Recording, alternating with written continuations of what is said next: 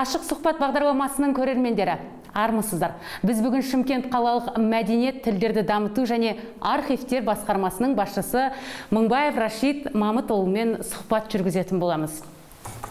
Рашид мамытұлы дәл қазіргі таңда елімізде төтенше жағдай болып жатыр.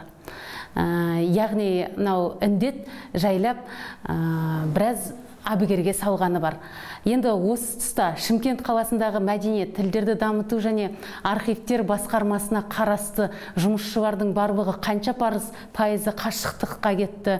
Қандай жұмыстар жүргізіп жатырсыздар? Енді мынау індет екен деп қарап қалмай ә, үйде отырған тұрғындардың көңілін көтеріп аулау үшін қандай істерді жасап жатырсыздар? Саламатсыздар ма құрметті көрермендер? Ә, жалпы қазақстан республикасының президентінің жарлығымен өздеріңіз білесіздер елімізде төтенше жағдай жарияланды. Бұл төтенше жағдайдың карантині сәуір айының соңына дейін. Қазіргі таңда мәдениет тілдерді дамыту архивтер басқармасы тарапынан жалпы бізде 1570 қызметкер жұмыс істейді барлық мекемелерді қосқанда.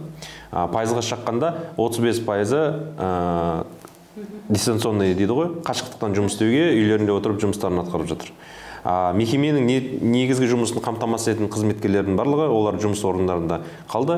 Қазіргі таңда онлайн жұмыс жасап жатыр. Онлайн жұмыс бойынша қазір толық айтып өтемін. Одан бөлек өзіміздің театр ұжымдары цирк ұжымдарында мәдениет үйі мекемелерінде өзінің арнайы кішігірім тігін цехтарында жалпы көлемі екі мыңға жуық мына бетперделерді тігіп біздің қызметкерлерге өзіміздің қызметкерлерді толықтай қамтамасыз етті. Және де олар қайырымдылық ретінде қала тұрғындарына да тарату шараларын өткіздік. Екі апта көлемінде бет, бетперде тігуді де өзіміздің қызметкерлерді бетпердемен қамтамасыз еттік. Жалпы індетке байланысты қызметкерлердің барлығына сақтану шаралары түсіндірілген. Маска киіп жүру печатка киіп жүру қоғамдық орындарда қалай жүру мына концерттерді онлайн жүргізгенде қалай өзін ұстау керектігі және де қазір автокөлікпен де жүру шектелген ғой. Осы тараптан да автокөліктерін тіркеткізіп арнайы рұқсат қағаздарын алғызып жұмысқа келіп кетуінің бәрі ұйымдастырылған. Қала әкімінің шешіміне сәйкес жұмыс уақыты кешкі бес жарымға дейін қысқартылды. Яғни азанғы сегіз жарымнан бастап түскі үзіліс бірден екіге дейін және бес жарымда ертерек қайтып отбасыларына жетуін қамтамасыз етіп жатырмыз. Жалпы өздеріңіз білесіздер құрметті көрермендер мынау төтенше жағдайлар кезінде қала тұрғындарына үйден шықпау шектеулері қойылып жатыр. Қажетті ғана жағдайда шығуға рұқсат беріліп жатыр. Сол уақытта індет кезінде қала тұрғындары үйде уақыттарын тиімді пайдалану мақсатында рухани мәдени тұрғыдан даму мақсатында біз барлық іс шараларымызды онлайн өткізуді жоспарлап соны жөн көріп соны біз жасап жатырмыз. Осы 13 мен 19 сәуір аралығына осы аптаның өзінде елу жеті іс шара онлайн өткізіп жатырмыз. Яғни ол жерде жалпы айтқанда мына мезгілде жаңағыдай жоспарымыз бар. Осы жоспарға сәйкес міне онлайн спектакль семинар сұхбат онлайн концерт сынды жалпы көрме көрініс мәдениет саласының бәр тармақтарын ала отырып осы жалпы елу жеті шараны осы аптада өткіземіз. Яғни алдағы уақытта да алдағы аптада да бұл көрсеткішімізді төмендетпей одан ары жан жақты басқа тараптарынан да көрсетуге тырысып жатамыз. Одан бөлек мынау 15 наурыздан індет жарияланғаннан бастап жалпы саны қазіргі таңға дейін біз 42 арнайы видеоролик түсірдік. Ол видеороликтеріміз мына әртістеріміздің онлайн сұхбат беріп халықты үйде отыруға сабырлыққа шақыруы іс шаралардың өтуі жөнінде видеороликтер жарнамалар жалпы. Одан бөлек біз медицина қызметкерлерін қолдау жөнінде видеоролик арнайы шығарып жатырмыз. Қазіргі таңда қаладағы ішкі істер қызметкерлерін қолдау жөнінде арнайы ән шығарып арнайы видеоролик шығару бойынша жұмыстар жасап жатырмыз бағдарламаны түсіндіре кетіңізші. Көрермендер көріп отырған көрермендер мына онлайн жүзіндегі ертегі дейді терме дейді спектакль дейді мұның барлығын қалай көруге мүмкіндігі бар? Осыны ауқымдырақ айтып кетсеңіз мәдениет және тілдерді дамыту басқармасының әлеуметтік желісі арқылы ма немесе қай желі арқылы көруге мүмкіндік болады? Өте орынды сұрақ. Мынау қала тұрғындарының көбісі онлайн іс шара болып жатқанымен қай жерде қай уақытта көруге болады деп и және де телевизорын қойып күтіп жүруі мүмкін. Сол тұста мен түсіндіріп өтсем біз онлайн өзіміздің парақшаларымызда сайттарымызда мәдениет басқармасында және қала әкімдігінің сайтында онлайн өтетін іс шаралардың бәрінің тізбесін жарияладық. Ол тізбеге кірсеңіздер оңай көруге болады. Яғни мынау шанин атындағы қазақ драма театрында спектакльдерді қалай көретін уақыттарымен жазылып тұр. Например он үші күні он төрті күні он бесі күні сағат он екі нөл нөлде астында сілтемесі бар. Жұмат шанин театры фейсбук инстаграм ютуб желілері арқылы осы уақыттарда көре аласыздар. Және де кешіккен көре алмаған қала тұрғындары ютуб желісінде кез келген уақытта оны скачать етіп көре бере алады. Осындай мүмкіндік бар. Бұл онлайн дегеніміздің мақсаты өзі ә, театрда залда ә, өнерпаздар көрерменсіз өнерін көрсетіп соны бейне таспа арқылы қала тұрғындарына жариялап болады табылады да. Одан бөлек қала тұрғындарына мына эфирді пайдалана отырып айтып кетейін дегенім қазіргі таңда сәуір айының басынан соңына дейін бізде жалпы саны алты конкурс жүріп жатыр онлайн конкурс. Яғни ол жерде онлайн конкурс дегеніміз онлайн бата беру онлайн айтыс онлайн терме онлайн әл фарабидің өлеңдерін оқу жыным сенсің туған жер бұл жерде поэзия ән аспаптарда ойнау осы сынды сайыстар болып жатыр. Әр конкурстың әр сайыстың өзінің жүлде қоры бар. Спонсорларды тарта отырып демеушілер есебінен жүз мың жүз елу мың екі жүз мың теңге көлемінде осы әрбір сайысқа жүлде қорын қойып отырмыз. Яғни сәуір айының соңында жинақталып жеңімпаздар арнайы комиссия арқылы анықталатын болады. Осыған үйде отырған өнерсүйер қауымға өнерге жақын адамдарға өз өнерін дамыту насихаттау жас ұрпақты тәрбиелеу мақсатында осындай сайыстарға қатысып өз өнерлерін көрсетуіне қала тұрғындарын шақырамыз. Ол сайысқа қатысу үшін қалай сіздерге қалдыру керек өздерінің өтініштерін? Ә, жаңағыдай айтқандағыдай біздің мәдениет басқармасының мәдениет үйінің арнайы парақшалары бар. Ә, соған арнайы хат жаза отырып өзінің ә, ұсынысымен қай сайысқа қатысатындығы жөнінде айтса және бейне жазылымын өзінің өнерін немесе батасын видеороликке түсіріп бізге біздің WhatsApp желісіне немесе мәдениет үйінің сайтына жолдаса біз оны арнайы алып конкурсқа қатыстырамыз. Әлеуметтік желіде жарияланған иә бұл бағдарламалар? Біздің ә, арнайы штаб құрылған осы онлайн іс шараларды өткізу бойынша ол жерде арнайы әлеуметтік желілерді талдап оларға жүктеп ә, жарнамалап отырған арнайы мамандар бар. Солар дер кезінде алып мәліметін ә, тіркеп онлайн конкурсқа қатысуға өздеріңізбен хабарласады. Ал whatsapp желісін қалай табады? Ол жерде бар ма? Ол жерде whatsapp желісінің сілтемесі бар. Сілтемесі бар иә арнайы. Енді жалпы қазіргі таңда расында да видеороликтер түсіріп жатыр, жатырмыз дейсіздер. Коронавирустың аясында 42 видео ә, ролик жасапсыздар. Ә, ол видеороликтер туралы ішінде дәрігерлерге қатысты бар ма? Иә сол роликтер телеарналардан көрсетіліп жатыр ма? Әлеуметтік желінің өзі бір бөлек әлем бірақ телеарнаны көретін де көрермендер өте көп қой. Мынау коронавирус басталған сәттен бастап өнер қайраткерлері ардагерлері шығып сабырлық сақтайық таза ауада болайық бетперде киейік үйде болайық және де мынау наурыз іс шарасы как раз сол тұста келді басында. Бәрі халықтар наурыз тойлаймыз ба қалаға көшеге шығамыз ба? дегендей ой болды. Сол жерде бәрін сабырлыққа шақырып отбасымен наурыз тойлаудан тойлауға шақыруды шақырды өнерпаздарымыз. Содан бері тыным таппай халыққа өзінің іс шараларын өнерлерін көрсетіп арнайы видеороликтер жолдап отыр. Сол сәтте осы мынау қиын қыстау кезеңде медицина қызметкерлерінің халықтың арасында көп еңбек етіп ең қиыншылықтар солар көріп жатқанын байқап біз арнайы оған ән шығартқызып соған арнайы бейнеролик әзірлеп медицина қызметкерлерін қолдап оны әлеуметтік желілерде жүктеп тараттық алдағы уақытта мынау өздеріңіз білесіздер ішкі істер қызметкерлері полиция қызметкерлері тыным таппай 24 сағат қызметтерін атқарып жатыр. Осы қызметкерлерді қолдау мақсатында оралға моральдық тұрғыдан қолдау беру мақсатында тоже осындай бір ән жазып жатырмыз. Ол әннің аты әлі ешнәрсе айта алмаймын. Ә, дайын болғанда алдағы аптада біз оны жариялайтын боламыз. Ә, рашид мамытұлы жалпы сіздің басқарып отырған басқарма тек мәдениет саласы емес ол архивтер және тілдерді дамыту саласы да кіреді. Бұл бойынша қандай жұмыстар бар? Архивтер біздің шымкент қаласында архивтер қанша және мынау тілдерді дамыту аясындағы жұмыстар қалай көшті онлайнға? Мхм. Яғни бізде басқармаға қарасты архивтер архив орталығы бар. Ол нұрсат мөлтек ауданына орналасқан үлкен архивтер жүйесін құрайды. Ә, заманауи жабдықтармен жабдықталған. Ә, және де бізде шымкент қаласының ә, тілдер дамыту тіл оқыту орталығы бар. Ә, қазіргі таңда тіл оқыту орталығы тек қана қазақ тілін емес ағылшын басқа да тілдерді ә, онлайн оқыту жүйесіне көшті. Арнайы парақшасына кіріп онлайн ә, күнде 2 сағат 3 сағат ә, түске дейін түстен кейін арнайы сағаттары бар белгіленген. Соған сәйкес сіз қазақ тілін ә, оқу ағылшын тілін оқу сынды конкурстарына қатысып ә, үйде отырған уақытыңызды тиімді пайдалана отырып басқа да тілдерді үйренуге мүмкіндіктер болып жатыр. Ә, осы бір айға жуық уақыттың ішінде ә, қазір жаңа арнайы қарап отырмыз 35 сағат өткен екен. Ә, 35 сағат ол ағылшын тілін үйрету 35 сағат қазақ тілін үйрету сияқты сынды сабақтар отыр.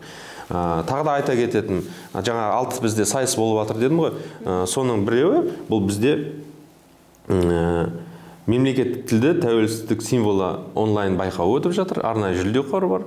Бұл жерде сіз жас ерекшелігі шектелмеген ә, қазақ тілін қалай дамытсақ деген қазақ тіліне байланысты ә, айтылмай жүрген ә, мынау шешендік сөздерді айтып қазақ тілін мемлекеттік қызметте жалпы мемлекетімізде дамыту бойынша өз ұсыныстарыңызды айтсаңыздар сол бойынша арнайы тоже конкурс өтіп жатқанын айтқым келеді. Енді жалпы айта кететін мәселе өзім ойымда жүрген. Ол өздеріңіз білесіздер шымкент қаласының тұрғындары көптен күткен. Шымкент қаласы мәдениет тмд елдерінің мәдени астанасы болып жарияланды. Шымкент қаласы 2002 жылдығы биыл. Енді ұлы отан соғысының 75 жылдығы шәмші қалдаяқов 90 жылдығы сынды көптеген іс шаралардың үлкен даталардың тоғысқан жылында ә, көптеген жоспарларымыз бар еді.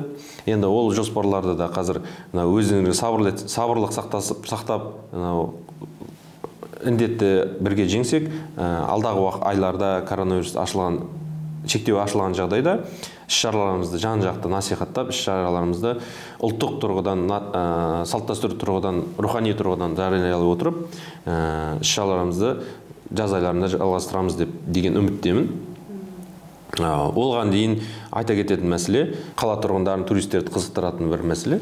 Ә, көне қалашығымызда цитадель музейі арнайы соғылып жатыр. Оның құрылыстары тоқта, қарқыны тоқтаған жоқ. Ә, оны осы жаз айларында ашуды жоспарлап отырмыз. Ә, онда ашық аспан астындағы шымкент қаласының 2002 жылдығын дәлелдейтін арнайы музей болады. Музейдің жұмысы толық құрылыстары жүріп жатыр. Музейлендіру бағытында да жұмыстар жүргізіліп жатыр. Осы бағытта айтқым келді. Және де өздеріңіз білесіздер наурыз айында ашу жоспарланған ипподром алаңында ә, этно қалашығымыз көне қала атты қалашығымыз құрылысы аяқталып дайын тұр. Онда мынау шектеу шаралары тоқталғаннан кейін ә, ашылу арнайы іс шарасы өтеді.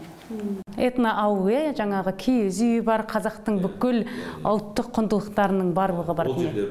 Жалпы қала әкімінің жалпы әкімдіктің мақсаты біз этно ауылда ұлттық салт дәстүрді ұлттық өнерімізді насихаттау мақсатында сондай ауыл соғылды. Аптаның әр күнінде ол жерде өнерпаздар өнерін көрсетеді ұлттық ойындар ойнатылады. Сол бағытта қазақтың салт дәстүрін туристерге көрсету мақсатында арнайы этноауыл соғылған болатын. Оны да мынау төтенше жағдай аяқталғаннан соң арнайы ашатын боламыз. Қала тұрғындары келіп көріп оның үстіне арнайы ұлттық тағамдардан дамау істеуге болады. Жаңа өзіңіз айтып кеткен мынау ескі қалашықтың құрылысын айттыңыз. Ә, осының қазіргі таңда қанша пайызы аяқталды қай жерге келді жұмыстар және қайынды, қандай қиындықтар туындап жатыр? Мына төтенше жағдайға байланысты да туындап жатқан қиындықтар бар шығар енді төтенше жағдайларға байланысты ескі қалашықтың цитаделінің құрылысына байланысты жұмыс тоқталған жоқ. Ә, қыз- жұмыскерлер бәрі жұмыстарын арнайы графикке сәйкес графиктен даже алдын ала да ерте десем де болады. Ә, ш- қарқыны жақсы жақсы құрылыс жұмыстары жүргізіп жатыр құрылысшылар тарапынан. Енді бір ғана кішкене бізде қиыншылық. Шымкент қаласында ә, музей мамандары өте аз. Сол тұрғыдан кішкене қиыншылықтар болып жатыр. Ә, бірақ жоспарға сәйкес осы жаз айларында ашуға барлық күш жігерімізді салып жатырмыз. Еліміздегі деп айтсақ болады. Бір керемет туристерді тартатын қала тұрғындарын қызықтыратын шымкенттің тарихын көрсететін арнайы осы музей жақсы бір музей болып шығады деп ойлаймын. Енді музей мамандарының тапшы болғанына себеп ол шымкент пен түркістан облысы болып екіге бөлінгеннен кейін музейдің көпшілігі түркістан облысына қарай қарастырылды иә? Иә шынын айтқанда шымкент қаласында ә, бірнеше музейлер бар еді. Олар ә, түркістан облысы көшкен салдарынан түркістан облысының балансында. Яғни алдағы уақытта бізде музей жоқ деп те айтуға болмайды. Музей бар музейге жәдігерлеріміз барлық мүмкіндіктер бар. Ә, арнайы мамандармен осы ә, толтыру арнайы музейлерді дамыту жөнінше қазір қарқынды жұмыс жасап жатырмыз. Алдағы уақытта бізде музейімізді қала, қаланың тарихын көрсетуге үлкен мүмкіндіктер бар.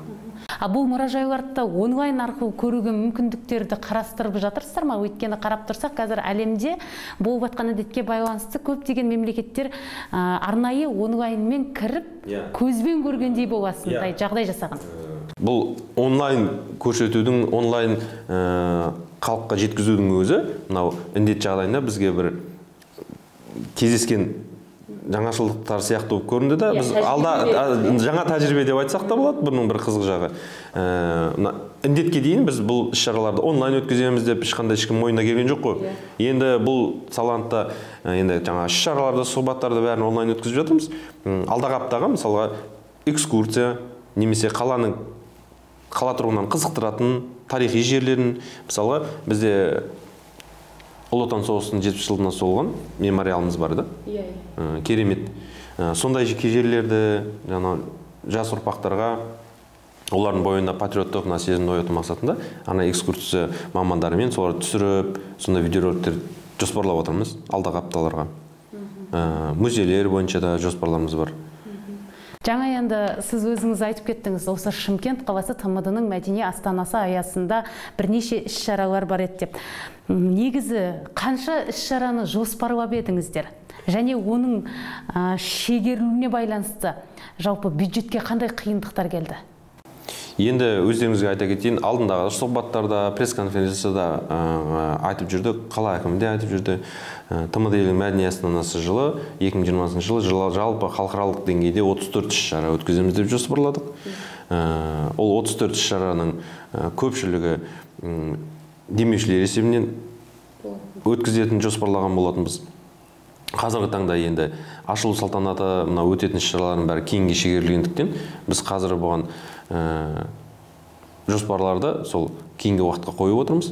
Енді оның қаржысына байланысты өту мүмкіндігіне байланысты халықаралық мамандардың өнерпаздардың қатысуына байланысты кімде мүмкіндік бар келуге кімге мүмкіндік жоқ екенін бәрін мынау төтенше жағдай біткеннен кейін қайта қараймыз деп жоспарлап отырмыз.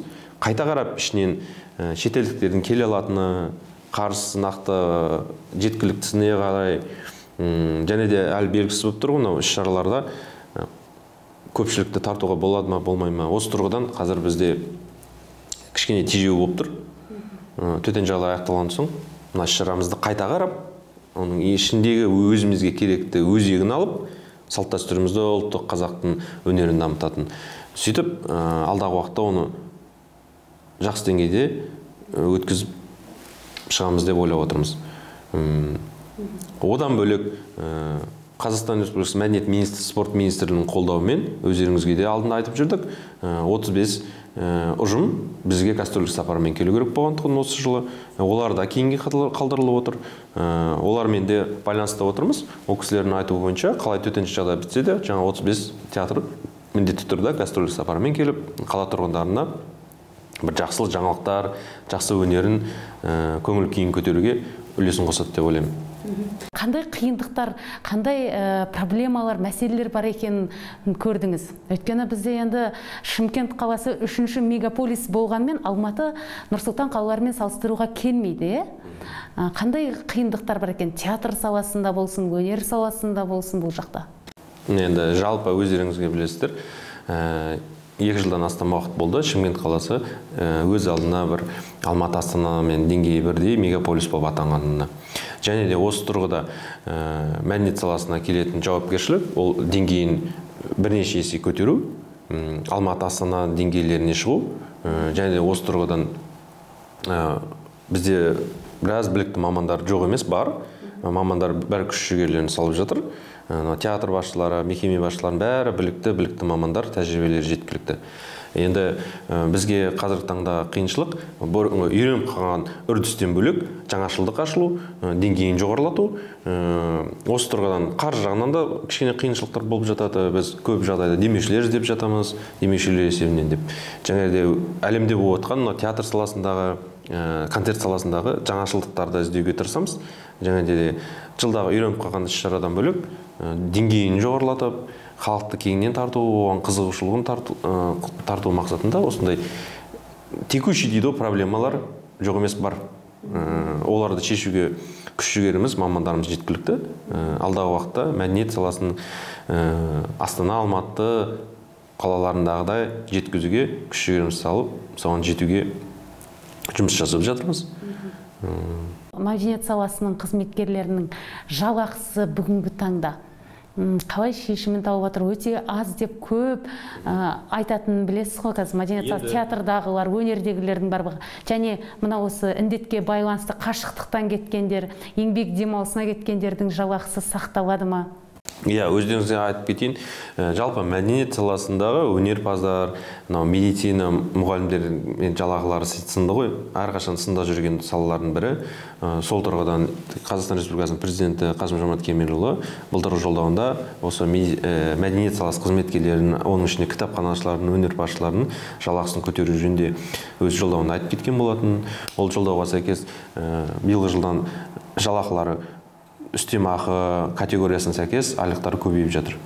Мына төтенше жағдайлар кезінде айтып кететін болсақ біздің негізгі мақсатымыз ешқандай қызметкерлердің айлығын шектемеу уақытылы жалақысын төлеу онлайн режимдегі қызметкерлерде ол үйлерінде жай жатқан жоқ онлайн концертін жасап жатыр онлайн әнін шырқап жатыр.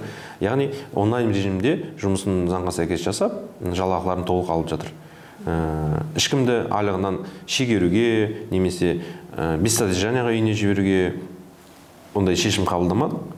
Барлығын өз еріктерімен онлайн режимге шығаруға жібердік. Оның ішінде жалпы сала бойынша біздің мәдениет саласында бір мың бес жүзден астам қызметкер істесе оның жүз жиырма бесі елу бес жастан асқан екен.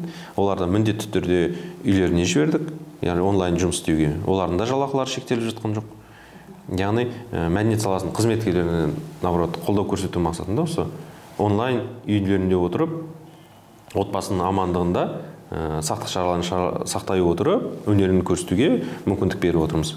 Үйде отырған көрермендерге айтар өзіңіздің ұсынысыңыз болса тілегіңіз болса тілегіңіз құрметті қала тұрғындары өздеріңіз білесіздер қазір шектеу шаралары қалада жүріп жатыр қатаң түрде жүріп жатыр.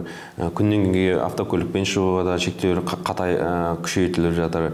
Сол себептен қатты бір қажеттілік болмаған жағдайда медициналға жүгіну немесе азық түлікке қажеттілік болмаған жағдайда үйлеріңізде сабырлық сақтап отыруға шақырамын.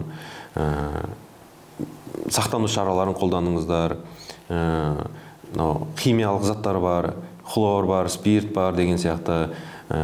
Еденді жуып үйді таза тазартып қолдарыңыз дала шыққан жағдайда жуып ана бетперделерді міндетті түрде киіп сақтық шараларын сақтансақ құдай айтады сақтансаң сақтаймын деген. Сол сақтық шараларын артығымен істесек ешқандай кемшілік болмайды деп ойлаймын. Барлығымызда амандықта саулықта мына індетті бірігіп жеңіп мерекелік күндерге жете берейік. Мерекелік концерттерге келіп онлайн емес енді құдай қаласа алдағы уақыттарда концертті тікелей жүзбе жүз көзуге сол күнге жеткізсін деп айтқым келеді. Иә расында да. Енді қадірменді көрермендерге тағы түсіндіре кетейік. Сөз соңында қазіргі сәуір айында өтетін онлайн сайыстары туралы, туралы егер сіздің өнеріңіз болса сәуір айында алты іс шараға қатысуға мүмкіндігі бар иә тағы да қайталап өтейік. Жырым сенсің туған жер. Онлайн байқауы. Бұған қалай? Ән жүзінде эстрадалық вокалын көрсетеді иә аспапта орындаушыларын және поэзия. өнерін. Екіншісі терме бұл бойынша да онлайн термешілер өзінің термесін айтып WhatsApp желісіне жүктесе ә, онда байқаудың жеңімпазы сізде болуыңыз мүмкін. Үшінші жүйріктер шықты желіге онлайн айтысы айтыс түрінде ғой бұл иә?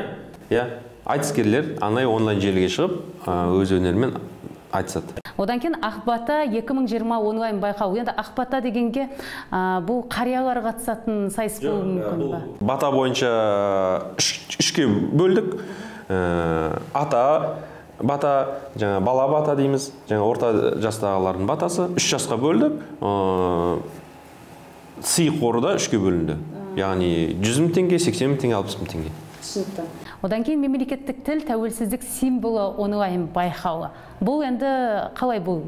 Тіл жөніндегі ма? Жаңа айтып кеттім қазақ тіліне дамытуға мынау ә, дело производствода өзінің ойын айтудың болса қазақ тілін дамыту бойынша айтылмай жүрген ғұламалардың сөздерін айтып осындай өзінің қазақ тілін дамытуға деген өзінің көзқарастарын жазса. Сол сайыс. Тілді дамыту үшін мемлекеттік тілді дамыту үшін өзінің ұсынысын өзінің әдемі ойларын жазып жіберсе солар айтылмай жүрген қазақтың ғұламаларының сөздерін тілге байланысты. Ал алтыншысы әлем ойшылы әбу нәсір әл фараби атты мүшәйрасы екен. Иә. Иә шындығында биыл әбу нәсір әл фарабидің әл фарабидің бір мың бір жүз елу жылдығы және абай құнанбайұлының жетпіс бес жылдықтарына сәйкес біз мынау онлайн конкурстарда алдағы уақытта соларға байланыстырып шәмшіге байланыстырып ән конкурстарын жоспарлап жататын боламыз. Мына қазіргі өтіп жатқан әлем ойшылы әбу насыр әл фарабидікі бұлардың өзінің мынау трактаттарын жазған ә, еңбектері бойынша сайыс яғни ол білетін еңбектері бойынша айтып өзінің алты сайыс негізгі мақсатымыз үйде отырған мынау өскелең ұрпақтар қала тұрғындары жалпы өзінің мәдени өзінің кругозорын дейміз ғой. Ой өрісін дамыту мақсатында осындай әртүрлі сайыстар өткізіп жатырмыз. Алдағы уақытта да өздеріңіз білесіздер биыл ұлы отан соғысының ұлы отан соғысындағы жеңістің жетпіс бес жылдығын тойлаймыз деп кең көлемде жоспарладық. Ар- алайда мынау індетке байланысты енді оны алдағы уақытта қалай өтетінін әлі болжау қиын. Бірақ оған дейін біз бірнеше конкурстар өткіздік деп отырмыз. Соғыс жылдарындағы әндерге байланысты соғыс жылдарындағы байланысты спектакльдерге байланысты әртүрлі алдағы уақыттарда сайыстар өткізетін боламыз. Бұл сайыстардың барлығына қатысқандарға тағайындалған жүлде қоры бар. Иә біз арнайы демеушілерге ә, жүгіне отырып олардың көмегімен ә, қала тұрғындарына кішкене стимул болсын деп кішігірім болса да елу мың теңге отыз мың теңге жүз мың теңге көлемінде осындай сый сияпат қала тұрғынын қызықтыру мақсатында бір жағынан. Құрметті көрермен осы сайыстарға қатысыңыздар. Әлеуметтік желі арқылы сіз өзіңіз өтініш бере аласыз. Ол үшін сіз instagram ә, әлеуметтік желісіндегі шымкент қалалық мәдениет тілдерді дамыту және архивтер басқармасын терсеңіз сол әлеуметтік желіден ақпаратты толығырақ алатын боласыз. Назар салғандарыңызға рахмет. Сізге ал- алғыс білдіреміз. Сұхбат бергеніңізге арнайы денсаулығыңыз мықты болсын ауырмай аман болыңыз деп тілейміз сізге. Қадірменді көрермен назар салғандарыңызға алғыс білдіреміз. Бізге бүгін сұхбат берген шымкент қалалық мәдениет тілдерді дамыту және архивтер басқармасының басшысы мыңбаев рашид мамытұлы болатын. Сау болыңыздар.